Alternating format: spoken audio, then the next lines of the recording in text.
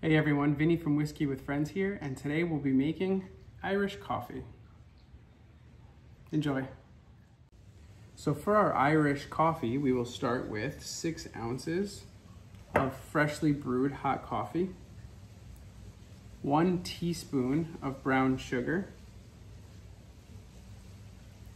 a shot or one and a half ounces of Irish whiskey. Today we're using Jameson. And then we'll garnish with some whipped cream and some cinnamon.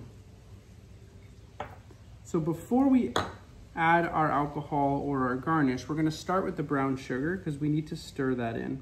Since we're dealing with a warm beverage here, we don't need to go crazy stirring it in, but we do wanna make sure that we have spread that brown sugar flavor around the coffee and we don't wanna stir the, the uh, the whiskey or the garnishes. So we'll do that now. 10 or 15 seconds should be plenty. And then we'll add our whiskey next. So I am, as always, using a jigger just to make sure that our measurements are perfect. You can freehand it or use whatever method you like. And the base of our drink is actually already complete. It's simply just Irish whiskey and coffee.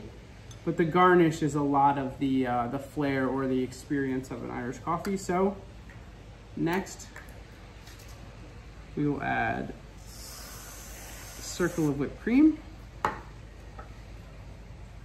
And then some cinnamon across the top. And there you have an Irish coffee.